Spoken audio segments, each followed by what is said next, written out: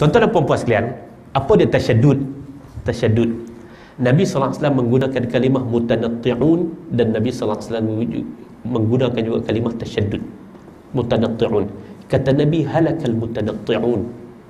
Hancurlah golongan mutanatti'un. Golongan yang melampau-lampau.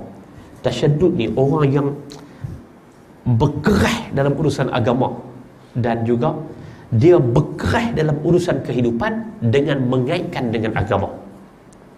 Ni uh, tak boleh pakai sebarang jenis pakaian lain. Mesti pakaian jubah mesti letak ridak. Kan itu adalah golongan tersyadud dalam dalam kehidupan ini dan mereka menyandarkannya dengan agama itu adalah tersyadud tersyadud boleh berlaku dalam urusan agama dan juga dalam urusan kehidupan ini dan mereka mengaitkan kehidupan ini dengan agama.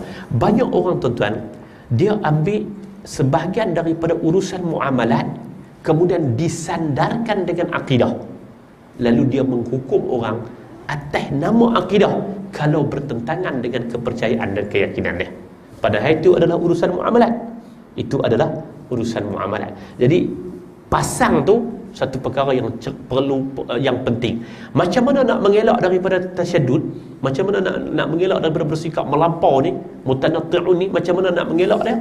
Memahami kata kunci yang paling utama dan paling mudahnya adalah memahami agama dan uslub beragama daripada pintu yang sebenarnya. Memahami agama konten agama kandungan keseluruhan agama itu dan juga uslub tadayun kaedah cara kita nak beragama itu kita faham daripada sumber yang sebenarnya. Kita faham daripada sumber yang sebenarnya. Itulah dia antara tips yang paling penting bagaimana kita nak mengelak kita daripada daripada tasyaddud daripada berkeras apa yang berlaku kepada sahabat-sahabat Nabi sallallahu alaihi wasallam tuan-tuan? Hadis yang cukup masyhur tentang golongan mutasyaddidin ni Tiga orang pergi jumpa dengan isteri Nabi Tanya macam mana ibadat Nabi Isteri Nabi jawab Tiga orang tu buat keputusan. Aku tak mau kahwin. Hadis masyhur. Aku tak mau kahwin. Hak kedua kata Aku nak sepanjang Nak semayang semayang malam. Yang ketiga kata Aku nak berpuasa. Nabi panggil ketiga-tiga orang. Nabi kata Tak cara kamu berfikir ini Adalah salah. Apa salahnya baik?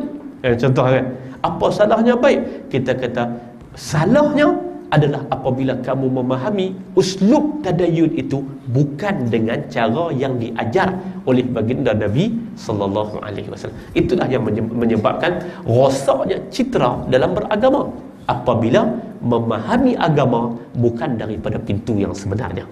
Jadi kalau soalan panjang yang ada tulis tu saya saya ringkaskan dengan menyebut ya tasyaddud boleh berlaku dalam urusan agama tasyadud kadang-kadang berlaku dalam urusan kehidupan yang disandarkan dengan agama akhirnya yang terfitnah siapa?